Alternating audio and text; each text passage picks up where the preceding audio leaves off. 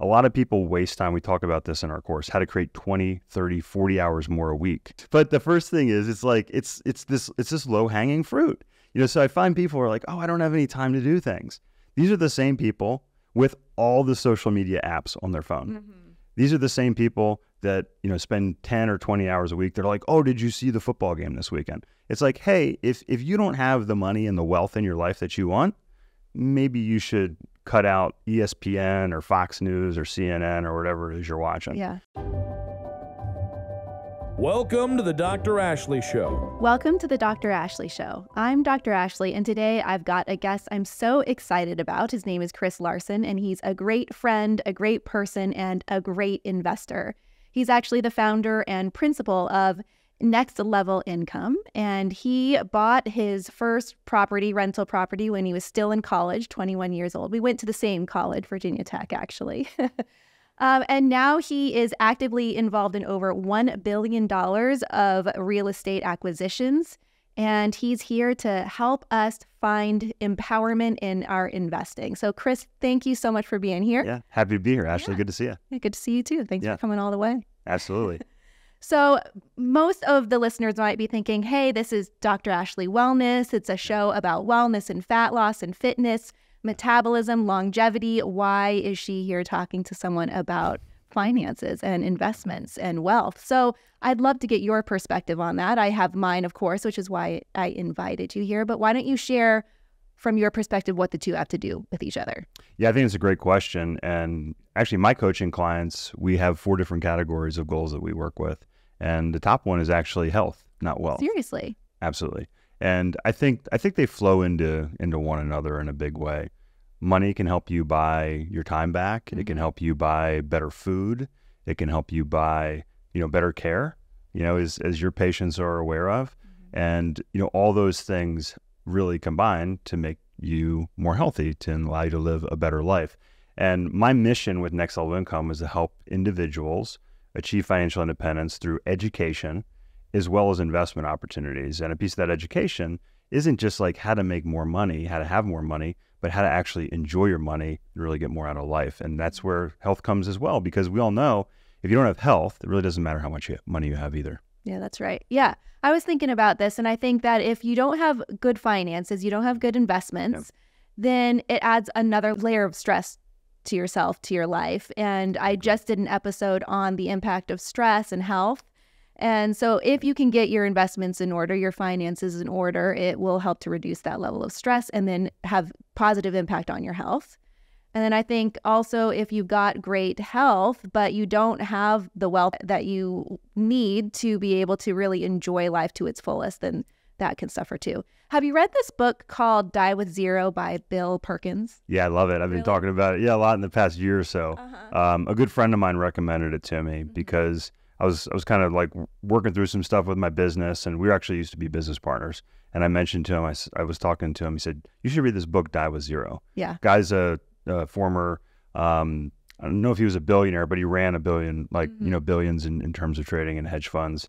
And yeah, it's a really interesting perspective. And you know, it's one of those things. I, I I look at it in terms of you know money and how money is is a um, means to an end, mm-hmm. and also you know if you think about you know if you have good health and you can live instead of 80 to 100 or 120 well why would you retire at 59 or 65 or 70 years old mm-hmm. like what are you going to do with yeah, with the know. next 50 years yeah it's more you know purpose i think you know that was zero is cool because it talks about kind of enjoying your wealth mm-hmm along the way. Um, yeah. So I'm a big fan of that book. Yeah, he talks about your lifetime fulfillment score as well, right? And he says that you need to have your health number one, um, because if you don't have your health, then you can't enjoy your money and your time. Yeah. And he says those are the three primary fact factors: health, uh, money, and time. And you need to have all three of those. Even though if we don't have wealth, we still can enjoy fun things in life. I understand that, but it just makes the process easier. Yeah, and I think uh, Dan Sullivan, strategic coach, mm-hmm. has a saying. He says, if you can write a check for it, it's not a problem. So when it comes to your health, if you can write a check to you know have better food, if you can write a check for you know better medical care, you know whether it's I mean think about it, whether it's for you know your children, you know to give them a better environment in school, whether it's for your children for better health care, whether it's for you if you have you know, health emergency. Um, you know, my my son had his appendix out earlier this year, That's right. And it we have a big deductible, but it wasn't a problem to make that payment. Mm-hmm. And you know, when you can have that care for your kids, it's it's a peace of mind. And like you said, with with money, without money, there's stress, Mhm. and it, it goes both ways. I'd rather have the stress that comes with money Mm-hmm. than without money. And that was one of my drivers as well as I was in college and I was reading. You read the statistic where you know the the biggest thing that comes between couples is money. You know, money arguments. And if if you can eliminate that, that allows you more time to focus on, like you said, things that are more important. And relationships are huge, right? When it comes to our happiness in Mm-hmm. Yeah, the biggest, I think. Yeah. Have you heard the song "Buy Me a Boat" by Chris Janson? I don't know that song. Do you listen to country music? Uh, actually, I was at uh, CrossFit this morning. They were playing country, but that's about the only time I listen to it. Is when I'm, yeah, when I'm at, you know, uh, not involuntarily exposed to it. I'm just kidding. But Country music is Yeah. it's great. I'll have to listen. Yeah, Yeah. I'm not. I'm not saying it's not. Yeah. It's not much. Yeah, all more. I'm more listening '90s rap. You know, when it comes to stuff. Yeah. You didn't strike me as a country man, and so Uh, I'm gonna. What about the beard? That helps a little know. bit, right? no. So I'm gonna send you this song. I'm gonna text it to you after, and um, I don't sing, but I wrote down the chorus, All right. and I'm just gonna read it to you. Right. I can sing it. Okay, so he goes, I know everybody says money can't buy happiness, but it could buy me a boat. It could buy me a truck to pull it. It could buy me a Yeti 110 ice down with some silver bullets. Yeah, I know what they say. Money can't buy everything. Well, maybe so, but it could buy me a boat. Yeah. Is that great? I like that. Yeah. So I was hoping Yep. that today you can teach us how to buy ourselves a boat. Teach us what we need to do to invest so that we can do that. And one of those like crazy expensive wake surfing boats. Okay. I love those. Okay. Yeah. I like the wake surf. So where do we go? Where do we go from there? Yeah, so I think we need to back up a little bit because we're talking about things that are like, you know, extravagant essentially, mm-hmm. like like a, a luxury boat, Yeah. um, even luxury cars. You know, when you think about it, it's like, well, why why and when should you spend money on mm-hmm. things like that?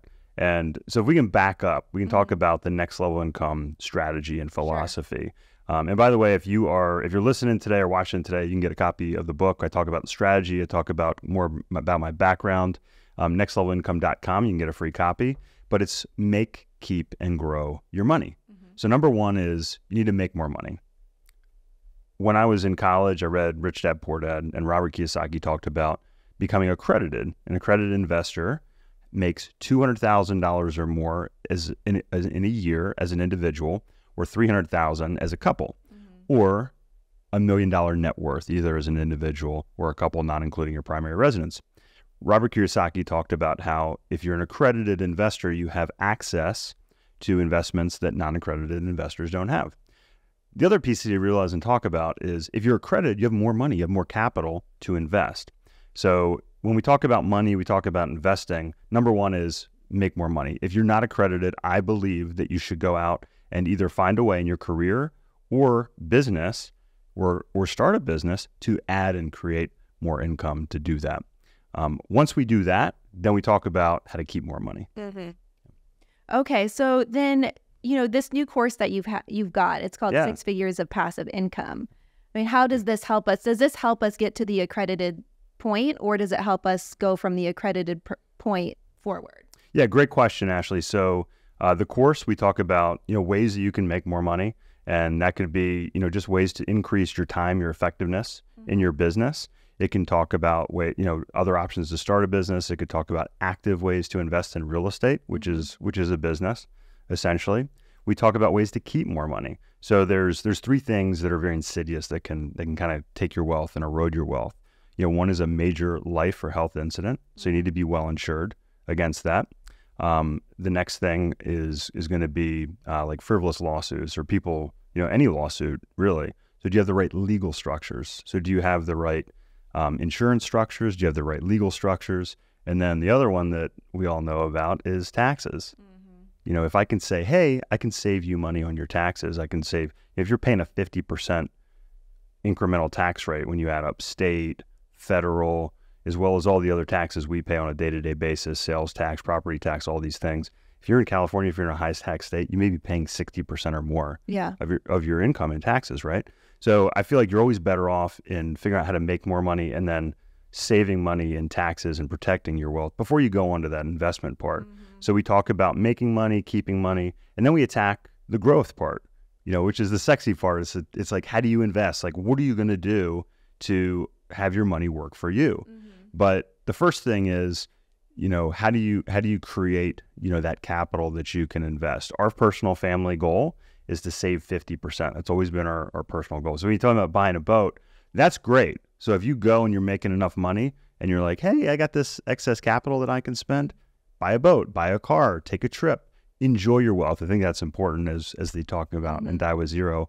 But having that discipline so you have a plan to get to the point where you will have financial independence over a given period of time, I think is the is the big picture. And that's what we really teach in the course as well. And so, one of the top things from a dis- discipline standpoint is to save 50% of what you bring in. I think that's a great benchmark. Mm-hmm. So let's say let's say you are spending hundred thousand dollars a year to support your family. So you have a family of four, you're spending hundred thousand dollars a year, and let's say you're making two hundred thousand dollars, or just mm-hmm. under that, paying tax, you're spending pretty much everything, you know, that everything that you take home after tax. Well, if you can increase your earnings by hundred thousand dollars and you can decrease your tax rate or optimize your tax rate, you can save hundred percent of what you make on top of that that amount. Mm-hmm. So that's why I say, you know, start with make more money. A lot of people say, well, Chris, that's unrealistic for me to save 50%. And that's where you say, okay, how do you increase your earnings? Because I don't, I don't, I don't advocate to go out and say, hey, look, don't buy that three dollar coffee. Don't, you know, don't take trips. Don't buy the boat. You know, life should be enjoyed. So let's Mhm. figure out how to enjoy it and how to do that. People like Dave Ramsey talk about, you know, saving money and doing things, but really Dave Ramsey's advice is is really for poor people Why? because so it, look if you're not if you're if you're in the bottom 90% of this country you know and you're you're obligated to wait for the government to write you a check for social security or you know even if you put your money in a qualified plan the government says what you can do with that money. You have to mm. wait till 59 and a half before you get it out. And the fact of the matter is the government doesn't have enough money to pay the country's bills so i believe that tax rates are going up. Mm-hmm. And if you have a significant amount of money in these plans I believe that you're probably going to get taxed on those in the future. So that's why, you know, the more money you have, the better planning that you can do, the more you can put your money in tax advantage investments like real estate that we're big fans of or insurance. Those things I believe are going to be better protected against those tax rates and, and the government or their hands in the future. Mm-hmm. So then, do you? Is it, I bet it's very customized, just like nutrition for weight Yeah. loss is customized. But are there three things you find you always suggest to people to start making more money, or do you have to look at what they're doing currently, what type of job they're in, or are there things that like you could give our audience like three top tips? Yeah, that's a great question. So if you are a if you're a professional and you bill by the hour, then I think you can figure out how do you create more billable hours. So my my wife's an architect, you know my wife Jessica, and so she gets paid pretty well per hour, but she only has so many hours that she can work. So if she can spend less time doing lower value um, uh, tasks and she can sub that out to, to people, then she can she can charge more on those higher tasks, the designing portion, for instance, instead of um, like the documentation portion. So she actually has brought on somebody onto her team that she can hire out to do those things, which means she can spend more time doing things that are going to be higher value. But this even goes to the household level. So let's say, um, so we have we have a friend he has a landscape company, and we hire him to come and do landscaping jobs around our property. People are like, well, why would you pay fifty dollars, Chris, to have somebody do that when you could do it yourself? Well, if you can bill a hundred or two hundred dollars an hour, why not pay somebody fifty dollars an hour? If if one for one, if that's four hours of your time a week, that's a significant difference. So number one is figure out how to optimize your time. A lot of people waste time. We talk about this in our course, how to create 20, 30, 40 hours more a week. I need that. Well, we can talk about that for sure. Um, but the first thing is, it's like it's it's this it's this low hanging fruit. You know, so I find people are like, oh, I don't have any time to do things. These are the same people with all the social media apps on their phone. These are the same people that you know spend ten or twenty hours a week. They're like, oh, did you see the football game this weekend? It's like, hey, if if you don't have the money and the wealth in your life that you want, maybe you should cut out ESPN or Fox News or CNN or whatever it is you're watching. Yeah. So these are things that are look, and I did this myself, you know, about 10 years ago. I realized I was staying up you know, instead of nine or nine thirty, I'd stay up till ten or ten thirty. Yeah. I watch some news show. I get all fired up, mm-hmm. you know, or I'd have a beer while I'm doing it. And it's like there was no benefit in terms of health or my time. Yeah. So I started getting up earlier. And that's the time I wrote my book. I wrote my book between five and seven o'clock in the morning because that was my quiet time. That was like my magic time. There's a lot of books out there and things out there that teach these things. yeah. So number one is inventory your time, inventory your life. Cut out things like social media, news, um, any and and look, this even goes to your relationships, and it's hard sometimes. You know, there's people in your life that are that are negative energy. Mm-hmm. So, and what I do is I don't say, hey, cut those people out. I say focus on the people that are bringing you what you want in your life. Mm-hmm. Make a list. I actually do like a little circle, and I put all those people inside mm-hmm. like my little inner circle, and then spend more time with those people that are helping out. So that's a big thing um, for people. How to how to how to create more time in your life. So that's that's one tip. I know that was kind of a little long winded there. No, that's great. Delegate and elevate. I love it. Delegate and elevate. That's a great way. then Yeah. You, you talked about Dan Sullivan, and I Yeah. was listening to him, and he said that probably five years ago, I don't know, maybe a little bit longer than that, he cut out sports because he Wow. used to just watch it all the time and Yeah. would watch it on the weekend, and it can take up your whole weekend. My son Yep. was asking to watch football yesterday. And I was like, well, you know, you can't watch five hours of screens in a day. So what are you going to do? And then we went and played pickleball instead. Yeah, Forgot about it. But yeah, that that can suck up so much time. It absolutely can. And look, it's not that you can't do the things that you enjoy. So I, I race bicycles. I started mm-hmm. 30 years ago. I raced on and off kind of for 20 years. I still like to watch cycling, but cycling it's it's a lot of time. Like so much time. yeah, these races can be long. Like if Yeah. you're if you watch the Tour de France, it can be hours. So I watch the highlights, Mm-hmm. and you know I'm, I'm a big fan of cold and hot therapy. Yep. You know sauna, cold plunges. So if I spend 30 minutes in my sauna, I can watch the highlights in 20 or 30 minutes while I'm in the sauna. Kind of at the end of the day as a reward to do that. So you can find a way to still enjoy the things that you're doing or become more efficient with those things. Um, I think there's a lot of ways to do that. Um, yeah. So once you create more time, it's like, well, what do you do with that time? So what if you're in a job or a role where you can't just bill more hours, where you can't just work more? I was in sales, so there was usually ways for me to create more time. But what if you don't have that? What do you do? I would say look for a business that you can start or a side hustle that you can start on the side. I'll use my wife as an example again. She was working for somebody else as an architect and she started her business on the side to create more income. And our story was that after we had both our two boys, we they went to daycare after paying taxes, paying for daycare. We took what what Jess made and we subtracted that out. We lost eleven thousand dollars with her working that first No year. way. Yeah, it was crazy. I bet that's so common. it's and it's it's unfortunate, right? Because Yeah. we want professionals, in my opinion, we want high income earners Yeah. in this in this um, country, really around the world. One to be productive, and two, we want to incentivize these people to have children, right? We want we want smart, productive people to have more kids, Right. right? To to create, you know, that's how we create, you know, really demographics, and we can talk about how that relates to real estate. But demographics is the lifeblood of of wealth in this country and developed nations around the world. So like these things are important, and it's really hard when you look in the mirror in your own home. You say this doesn't actually make financial sense. And I looked at Jess. And I said, "Do you want to stay home with the boys?" And she's like, "No, like that is not what I want to do."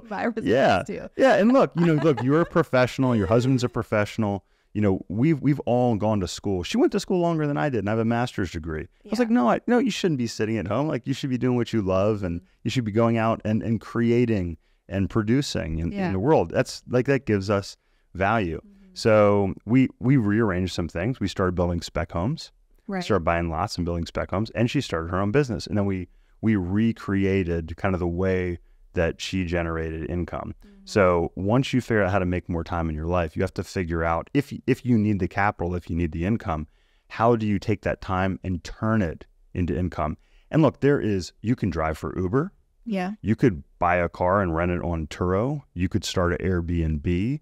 You could, I mean, there's so many opportunities to make money in this sharing economy and the world that we have. Mm-hmm. You could start a multi-level marketing business. You could start coaching. So I was racing. I had I had a lot of time. I was on call and I was a rep. So I was in the hospital. I was on call. I had to sit there sometimes for hours on end at the hospital waiting waiting for the the staff or the surgeon to call me into the room. Mm-hmm. Well, if I'm sitting there for two hours in the cafeteria, I can write a training plan for somebody So I coach people in my spare time in between cases, even though I was making money. you know, so there's I and I did you know I learned you know learn about an investment strategy yeah. or that sort of thing. Mm-hmm. Or look, if your health is number one, you know, so figure out what's your number one priority. You could you could dedicate your time to do that. So if you're making a lot of money but your health isn't where you want it to be, mm-hmm. you could spend your time doing that too. That's true. Yeah. So you talked about um, having someone come in and take the activities that you could let go of. You pay that person to take those activities so you can elevate yourself and do something that brings more cash in. Is there a certain equation that you can look at as to how much you should pay another person um, to then elevate yourself? Like, how do, is it worth fifty dollars to pay someone to mow the lawn, or is it just worth twenty five dollars? How do you figure that? Well, if somebody charges you twenty five and somebody charges you fifty, it's worth it's worth twenty five dollars. but um, so let's okay. So I think you know what I'm saying? I do know. Like, yeah, your your question is what when would you pay somebody versus do it yourself? Yes, right? and we're all at different levels of income, so understanding with what your level of income is, how much you should be spent paying someone else to do something for you. Yes, uh, I, I understand the question. I was just kind of making a little joke out of it. Oh. So, um, so let's say you make hundred thousand dollars a year. All right. You inventory your time. You say how many hours do you actually work? So let's say you work forty hours a week. You make hundred thousand dollars a year. Um, the the way the equation works is uh, it's about fifty dollars an hour. Forty hours a week, fifty hours worked, two thousand hours a Yes. year. A thou- hundred thousand divided by two thousand, that's fifty dollars an hour. Yes. Right. So it's pretty easy. You say if it's if I can pay somebody less than fifty hours or fifty dollars per hour, then you should pay them to do that and go do your job or Okay. or what you do. However, it's even better than that. When I work with my coaching clients, here's what I find. The individuals are typically making about four times that number because you're not being productive with every hour that you work. So what you need to do is you, have, you should actually inventory the hours that you work and say what are actually income generating activities. So I'll use the example of myself when I was a sales rep. I would I would work with surgeons, I would work with the hospital, I would I would work on educating the surgeons, I would work on negotiating with the hospital, I would be in surgeries, but I would also have to make sure the equipment was there and then the equipment was ready and sterile. Well, if I had to pick up a tray and transport it, right? Like let's say I have to go drive and pick something up and bring it to the hospital, or I had to make sure go through it and make sure all the pieces and parts were there. Um, what is what is that activity worth? It's probably worth like, you know, we're talking about 10 years ago. I'd say 10, 15 bucks an hour. I could probably pay a driver to drive somewhere, pick up something and bring it for 10 or 15 bucks an hour. Mm-hmm. Like it's not that's not a high value activity. So if I inventoried my activities, I should be talking to surgeons, I should be in surgeries, I should be negotiating prices. Like these are the high value activities. Mm-hmm. And that's what my company will want to pay me to do. Like Jess, we use my wife as an example too. She should be designing plans. She shouldn't necessarily be, you know, pulling drawings and pulling things that is basic stuff that she can pay somebody, you know, a quarter of what she charges. So if you look at your highest value activities and then say, hey, can I either hire somebody to do that or do I have somebody on my team or on my staff that can actually do that for me? If you're an individual, um, if you're uh, you have your own business or you're an entrepreneur, a lot of people the biggest thing that they can do is hire an assistant or implement some sort of technology. There's a lot of cool technologies out there. Like we use HubSpot for um, Yeah, I've heard of HubSpot. yeah, and it's it's it has AI built into it. There's a lot of things. It can automate the process. So when we're working with individuals, it, it can basically sift through the information and say, hey, you need to give uh, Dr. Ashley a call today, or you need to send her this email, or maybe it can even automate sending that. There's calendar options that are out there.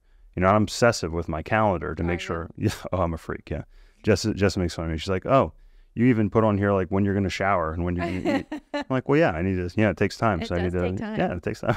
so, but if you, if again, that goes back to inventorying your time and becoming efficient with that. So I think that's very, that's very That's important. great advice. Yep.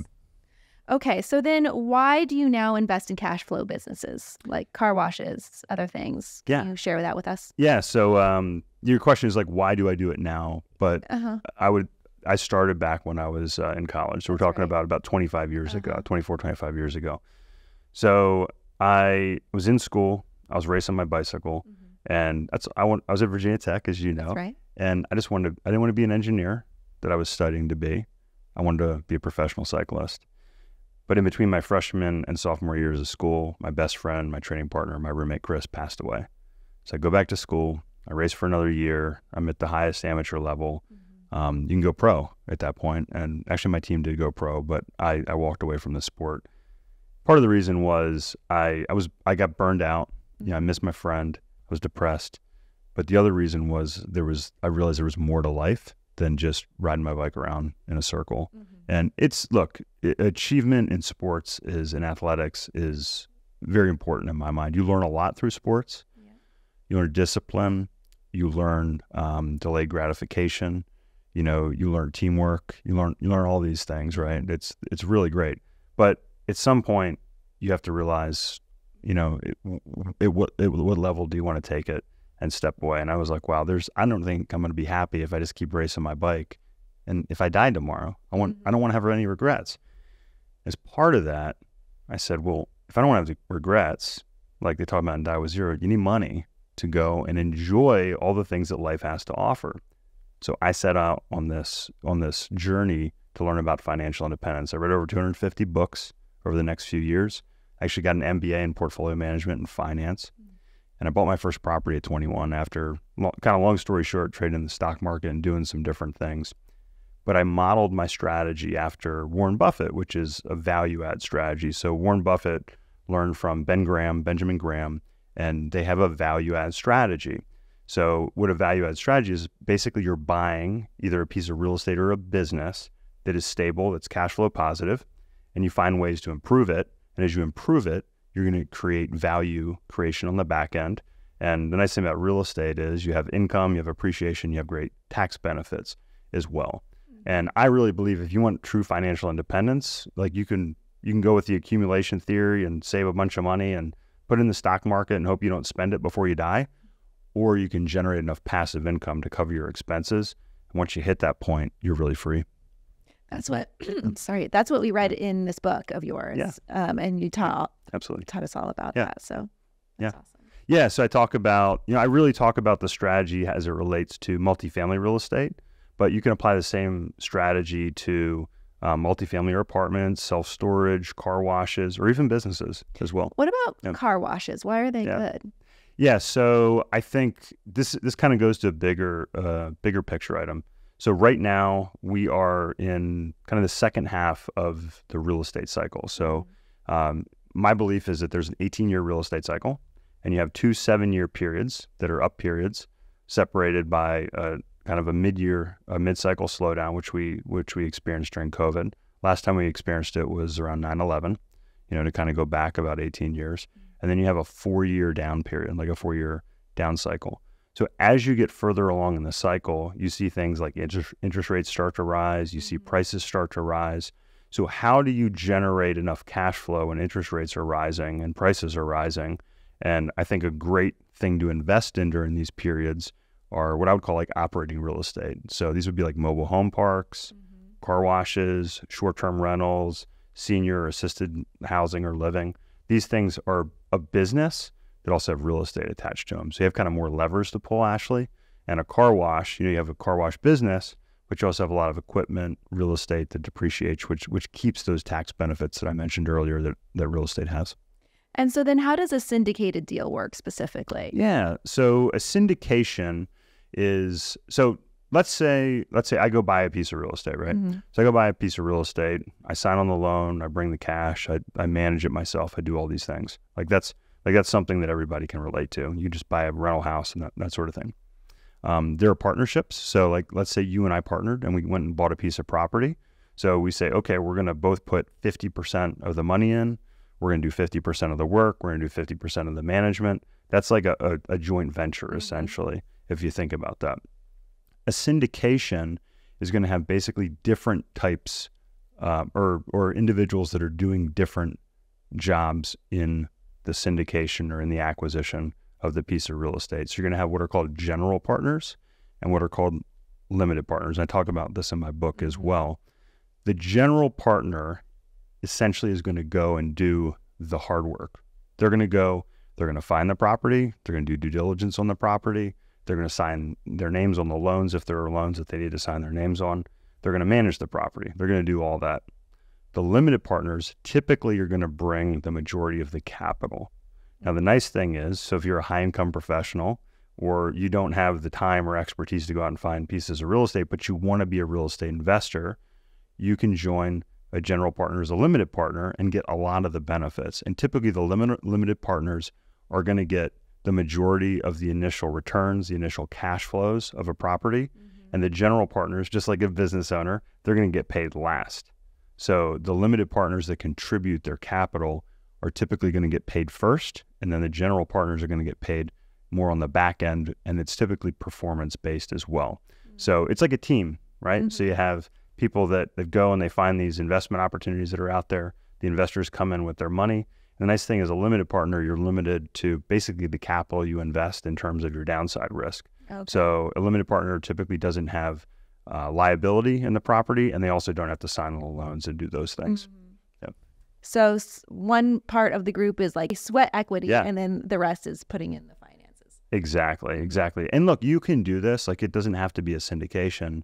You can go out and say, "Hey, you know, I'm I'm young Chris. I'm in college, and I don't have enough money, so I can borrow money." from a partner. Mm-hmm. I can go mm-hmm. find the property, I can manage the property, and we could be partners. And that's a great partnership, right? If you have more time than money, then find somebody with more money than time mm-hmm. and you mm-hmm. can partner with them. That's essentially what a syndication is, but at a, at a much bigger level. And is that what you guys do at Next Level Income? Primarily? Yeah. So we, we started syndicating deals in 2016 mm-hmm. in the multifamily and the apartment space. And then we grew our team. So now we do multifamily, we do self storage, we do car washes, as you mentioned, we do mobile home parks, and we're about to launch our, our senior housing partnership as oh, well. yeah, that's right. That's yeah. exciting. Yeah. So you say that multifamily is the holy grail. Uh, yep. Why do you say that? Mm. Yeah, so it's right on the cover of my book here in front of me, right? So um, really what I refer to in the book, and I took I took this line from Ray Dalio, so he's an investor. Mm-hmm. So Ray Dalio talks about how do you create more return, a better risk adjusted return. So if you can decrease your risk and increase your return, he said that's the holy grail of investing. And when I found multifamily real estate, what I realized was if you add this to your portfolio, so remember I have a my MBA was in portfolio management, so we learned about things like the Sharpe ratio, which is basically your risk adjusted return. And I looked and said, if I add this type of real estate to my portfolio, my returns go up and my risk goes down. Mm-hmm. That's exactly what Ray Dalio was talking about. So while I don't think it's particular just to multifamily real estate, when you look at the demographics behind multifamily real estate, especially when I wrote my book, you had this ability to generate outsized returns and actually decrease the risk of your portfolio. And look, Ashley, this is why the smartest money in the world, pension funds, endowments, family offices, hedge funds, they typically invest mm-hmm. 20 to 30% of their capital in income producing properties. Makes sense. Yeah. So, Chris, what else? Anything else that you want to share? Ooh, there's so many things we could, we could talk about. So, I think uh, we, we've covered a lot of things. You know, we, we talked about a little bit about the book, a, lot, a little bit about the course. So, look, if you're listening today and you, you're trying to figure out like what, what's my next step, if you're if you're just getting started, if you're if you're not yet accredited, I think you need to go out and figure out a way to generate more capital. Find a way to be accredited the biggest thing I hear is people say, Chris, what should I invest in? What should I invest in? I want to create mm-hmm. some passive income. Well, most people, it's like, oh, you're going to make your first investment. And look, you've been on this journey, Ashley. Mm-hmm. You make that first investment, you get a few hundred bucks a month coming in. That's cool, but it's not going to change your life. Most people can go out and generate more money in their in their job or their role or their business a lot faster than that passive mm-hmm. income that they're doing. So I think that's step 1 yeah. if you're not yet accredited. If you're accredited, then go figure out tax strategies, figure out, okay, you know, how do you how do you improve your tax situation? Because a dollar saved in taxes is a dollar straight to your bottom line. Mm-hmm.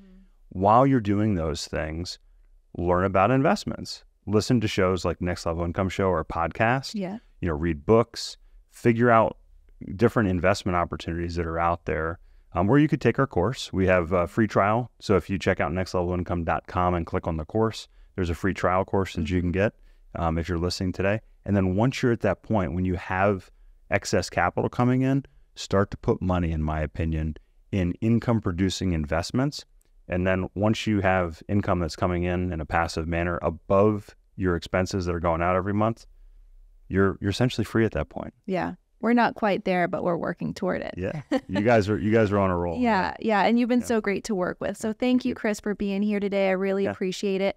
I'm going to send you this song, Buy Me a Boat. I'm gonna listen to it on the I way home today. It really should be your Yeah. theme song. Like to your uh, podcast, you can play it before you start talking. I'll consider that. You might like I'll it that consider much. that. Yeah. All right. Well, thank you so much, Chris. It's been my pleasure. Thanks for Yeah. having me. Thanks, you guys, for tuning in. If you're listening to this on a podcast platform, please uh, subscribe, follow us, and leave a review. And if you're watching this on YouTube, please drop a comment below. Any questions that you got for me, for Chris, I know Chris, he'll help me answer your comments. We want to hear from you. Any questions that you've got. And remember to make the change, you've got to step up. Lead with your heart to train your mind and do not negotiate with your body. I'll see you next time.